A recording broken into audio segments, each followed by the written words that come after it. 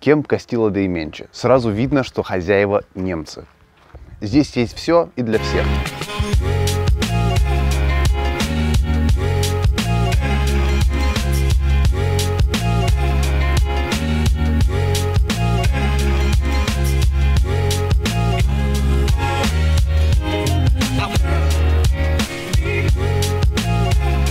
Этот кемп находится прямо над Гигантесом.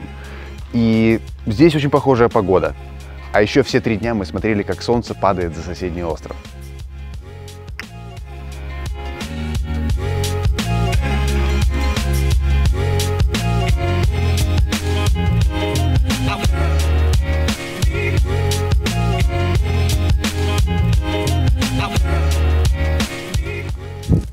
А вот это нужная вещь. Розетка идет в каждой палатке. И не нужно больше бегать на ресепшн, чтобы зарядить свой телефон.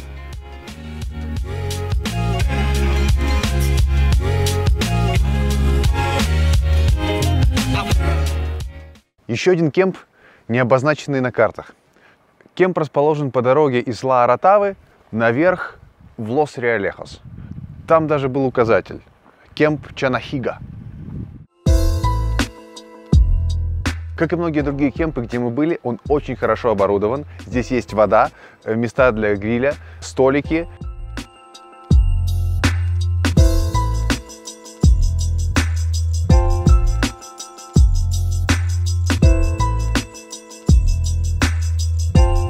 Кстати, отсюда начинается достаточно много разных пеших маршрутов.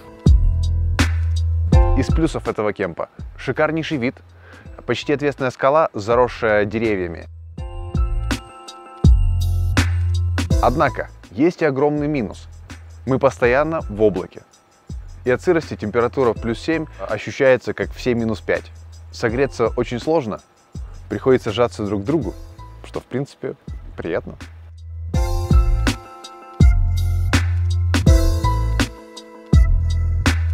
Кемпинги на Канарах очень плохо указаны на картах.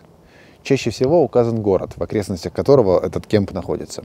Например, кемп Лома де Лахара находится недалеко от Такаронта. Но найти в какую сторону ехать не так легко, как кажется.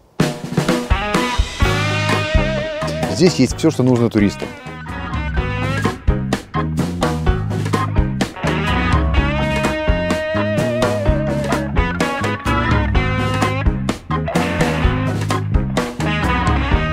Чаще всего, если это не государственный праздник и не выходной день, то кем будет совсем индивидуальным.